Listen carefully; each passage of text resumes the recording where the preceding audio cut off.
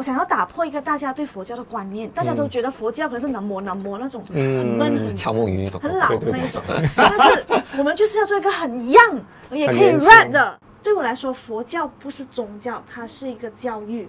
我我记得有一位我的佛光山的朋友，他是菲律宾人，他本身是基督教徒，但是他也非常相信佛陀的教法，嗯。因为他发现佛陀教法其实跟他的基督教的信仰是没有冲突的。佛教是允许我们去质疑它，哎，有。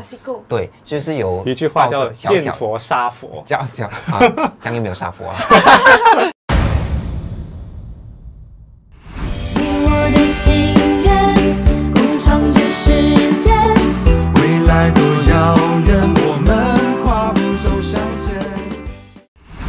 家好，我是马来西亚男孩郑冰燕。那今天很特别呢，我就来到了一个马来西亚的第一家佛教网络电台。这一集呢是跟宗教有关系的，然后呢。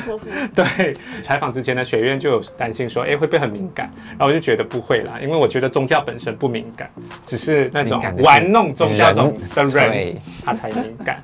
好，那今天呢，在我身边的就是心愿电台的两位，创办人、算是台长和副台长，台长、副台长。来自我介绍一下。好，大家好，我是新月 FM 的台长，我姓林，叫锦欣。黄雪苑副台长，Yes，为什么我会采访你们呢？我就觉得、啊、好特别哦，因为就是哎，原来马来西亚竟然有一个佛教的网络电台，然后一直在传播一些可能佛教的知识啊，然后而且还是由这么年轻的人去做，所以我就很很好奇，就是他不年轻了，啊不年轻啊，看起来很年轻啊，哈哈还是还是年轻，还是？还是年轻，心还是很年轻，所以就想问一下，为什么当初会想创办，是谁的 idea？是他十年的愿望。有当初其实我之前是在国营电台当 DJ，二零一零年的时候我离开嗯这个电台，所以算起来是九年啦，没有到没有到十年。嗯所以那个时候其实总觉得说，哎，还可以再做一些，因为有了那个电台的知识嘛，总觉得可以做一些可能自己的电台去传播一些正能量啊。你你都知道，如果是在电电台有它的方针，你要跟着它的方针走嘛。特别是宗教的，敏感，肯定就不不能够嗯是一个节目啊。所以那时候就有了这样子的一个念头了，只是哎，倒不如自己设立一个电台。很多时候我们看新闻，嗯一般都是负面的，他们才把它当成是一个新闻嘛，嗯特别是头条新闻，对不对？对对对对如果太正面的，觉得哎，没有什么，不当是一个新闻，所以大家喜欢看负面新闻。对但是就因为一则负面新闻登上了头条，十个人看可能就有十个负面的所以我觉得应该要去推一些正能量的东西。这个我绝对有感受，因为我以前是在八度空间华语新闻有做过实习组，然后也有在新洲日报做过记者。然后呢，我就会听到那些制作人很头痛，他说：“哎呦，今天没有什么新闻了，没有什么天灾，没有什么人祸，所以对我们来说是一个灾难。我是主张可能就走这个正能量的路线就好，可能正能量的听众会比较多嘛。但是他是觉得要走这个佛教的路线，因为可能正能量很有一些人都在做了。你要找你要找这些主持正能量的节目啊，或者站上台台上去讲正能量的，呃比比皆是对，比比皆是，可以很多人可以去讲。但是佛教的这一个确实是马来西亚的第一个，我是觉得主要我嗯觉得是为什么我会坚持要做一个佛教的电台，因为它大我想要打破一个大家对佛教的观念，大家都觉得佛教可能是南摩南摩那种很闷很敲木鱼很老对对对那种，但是我们就是要做一个很 young 也可以 rap 的，我们的主题曲是 rap 的。这样子，你们的团队是从哪里招来的呢？都是义工吗？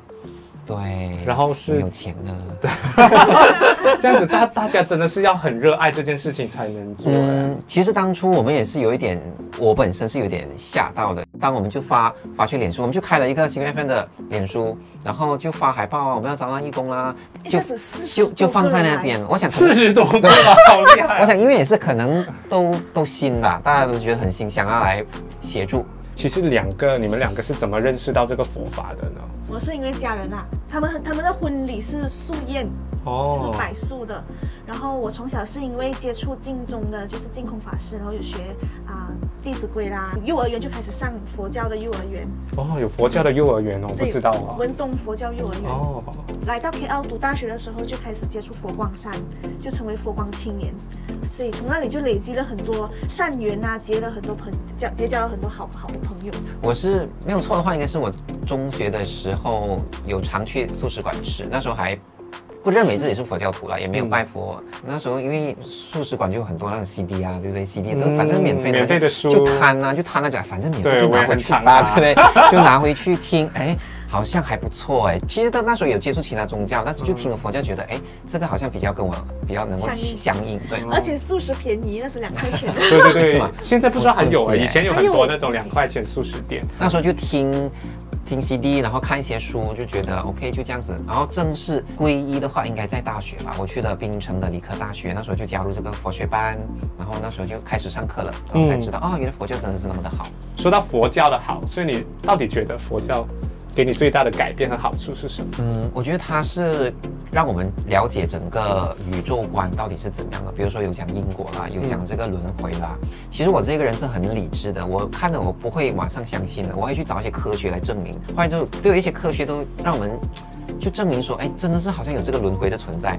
所以我想，哎，这个佛教跟佛教很契合，就暂时相信吧。这样子怎样界定自己是一个佛教徒呢？我自己又本身没有吃素，然后我也很少去佛堂，所以我一直都很好奇，我到底算不算是一个佛教徒？你们是怎么界定一个人属不属于佛教徒？我的看法啦，其实，在佛教里面有一个叫皈依的嘛，大家可能有听过到底是什么皈依，但是有有人会很怕了，哎，不要皈依啊，皈依了过后，等一下你不可以离开佛教，等一下会有会有什么遭到很大什么惩罚、天谴还是什么？对在佛教里头其实是没有这一回事啊。呃，它的一个制度是这样的，因为我们说其实我们是佛陀的弟子，其实它意思就是我们是佛陀的的学生学生。比如说今天我要去报读一个科系，我总要去报名嘛，对不对？所以我们皈依的意思也就表示说我想要跟随佛陀学你的法，嗯这样子，所以我就去皈依咯。当然我不会去跟人家争论说啊，你没有皈依你就不是佛教徒。嗯，我觉得信愿行吧，信相信，只要你相信有佛陀，就是佛陀是曾经存在过的一个一个开悟的人、圣人。愿就是你你发愿，比如说啊、有些净土宗会发愿要往生西方极乐世界，或者是我发愿我称愿回来人间啊、学人间佛教，继续的普度众生。信愿行行就是做好事、说好话、存存好好心。心所以这个就是其实在行着佛教。我相信你们身边应该有很多认识很多不同宗教的朋友，当中有没有一些朋友会有劝你们说，哎，要不要信改信其他的宗教？有有有有有，我之前我是我有学吉他嘛，我是进 church 学的，他们的吉他很好，只是我是去学圣歌，当然我是尊敬他的，嗯但是他们就会一直要我给我很多啊 Bible 啊，叫我去读啊，然后他们就一直跟你说，一直跟你说，但是我就很虔诚嘛，虔诚的佛教徒很 乖，所以就没有动摇了。嗯虽然我有去听他们的一些理论。只是我还是觉得佛教的答案很逻辑啦，嗯 比较对我来说比较逻辑啦，比较符合你的个人对对的需要是的。可是你的宗教观是怎样呢？就是你是属于开放式的，就是鼓励大家就是多元宗教，还是你们会觉得说佛教是唯一的真理？如果有人问我了，哎，嗯哪个宗教是最好的？然后我会先问回他，你现在信仰什么宗教？他只要说那个宗教的话，我说，哎，你的宗教就是最好的。为什么？因为他那个宗教可能很适合他那个时候。我接受佛教的另外一点就是佛陀非常的开开明，嗯他曾经讲过，他说不要因为我讲的法你就完全相信，你要自己去经历过后，体悟过后，真的感受得到的话，然后你才相信。因为有些宗教会跟我讲，哦，你一定要相信啊，你不能够去质疑的。佛教是允许我们去质疑它，哎，有。对，就是有一句话叫“着小小见佛杀佛叫叫啊，这样有没有杀佛啊？来说，佛教不是宗教，它是一个教育。我我记得有一位我的佛光山的朋友，他是菲律宾人，他本身是基督教徒，但是他也非常相信佛陀的教法，嗯因为他发现佛陀教法其实跟他的基督教的信仰是没有冲突的，嗯所以他可以同时去，因为因果其实。本来就是鼓励大家我打你一巴，你是不是想打回我一巴？对对对，所以这种因果观其实本来就存在的东西，善有善报，恶有恶报，这种佛教讲的东西其实是不是说你信就有，不信就没有的。因为现在佛教团体很多，所以你们有没有担心说，哎，你们说的教义或者是分享的东西，是不是属于正信的佛教？你们会没有这这层顾虑？其实我们的主播我们都跟他们说，尽量不要有自己的立场，因为我们都是请嘉宾来去去哦，主要是就是分享嘉宾的立场。，所以我们都会请正信的嘉宾来了。不代表本台立场哦上，就是 可能类似对，因为这样子。就算是嘉宾，他他可能是其他，因为佛教有很多的不同的团体，有北传，南南传还有一些所谓的复佛外道这样子。我们当然最后还是回到中心思想的，因为这三派其实都一样。你看它回归到中心思想，就是导人开悟的。嗯那么他的教义肯定是导人开悟，可能他的方式不太一样，但是主要的还是让你能够明心见性，然后能够开悟的。刚才你讲的复佛外道，所谓的复佛外道，就是他本身用佛教的名义去。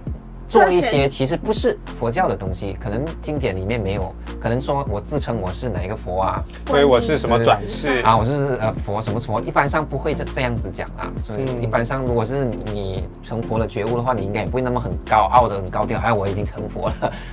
所以你们有什么话想要鼓励的吗？就是透过今天的这个机会，或是要告诫他们、提醒他们的东西。我们现在学佛已经很年轻了，我们听的佛曲都是 rock 的、rap 的，大家要对一个佛教传统传统的思想可能打破一下之前传统的观念。现在学佛都是一个流行的，吃素也是个一个流行，大家觉得吃素是环保、健康、爱地球，学佛也是一样，让你的心灵净化。我觉得学佛是一个很好的一个方式，但是并不一定适合你。但是如果你觉得可以试试看的话，欢迎收听心愿 FM。感觉好像背了很久，很流利耶。对，我觉得佛教不要把它看成是一个好像是老人的一个活动，每次就去寺庙那种念经念经念完去啊，就祈福我要中中万字啊，今天给我中几百万啊这样子啊。呃，佛法其实很生活化，我们在生活当中，只要你懂得这个佛陀教的一些方法呢，真的能够去克服。当中一些嗯，比如说心情的紧张啊，心情的一些压力啦，念头的转变啊等等，会提升你的生活的素质的，这是我自己感受得到的。最重要的那个要打的广告还是一样哦，就是最重要的每逢星期六和 星期天晚上八点到九点半，记得守住心愿 FM 马来西亚第一个佛教网络电台给你心愿智慧和正能量。心愿 FM.com 就可以。还有更重要的是演说家比赛，快来参加啦！快来参加。是来是报名截止是几时？哎，截止是十月六号哎，10月6赶赶得及肯出街吗？定肯定，我我 我过几天就出街了。不要被那个主题给吓到了。其实很简单，就是我是佛教徒这个主题，我们想听听你生命的故事。好，说的非常好。这样子，今天我们的访谈就到这里。然后呢，其实呢，今天呢，我邀请这个嘉宾过来呢，也不是说想要透过这个机会啊、就是把我自己的这个频道变成一个宣教的平台。纯粹呢，是我希望可以采访到更多不同组织的人，分享他们的故事。像你们刚才所说的，就是尽量就是让嘉宾分享他们的立场，不代表本台立场，不代表本台立场。所以呢，非常开心呢，今天他们两位上我这个节目。我刚才忘了告诉大家我的节目叫什么名字，我的节目叫彬彬有礼。冰冰对，彬彬有礼，彬是彬彦的彬，然后彬另外一个彬是嘉宾的意思。对，然后有理呢，就是可以是理由或者是道理。好，那最后呢，就记得订阅我的频道，我是郑，我是冰燕郑冰燕。然后呢，如果按这里，按这里。按这里我不知道按哪里。然后呢，也记得 follow 他们新月 FM 的网站，还有脸 Facebook 书、脸书。YouTube、IG。对，好，我们下个影片见，拜拜。一起让梦想实现。每一个人一颗心一个愿，让善缘住进心田。你的信念指引着我向前，梦想让我们一起实现。你还在犹豫些什么？你还在害怕些什么？心动其实就在一瞬间，只要有心，只要愿意发愿，实现。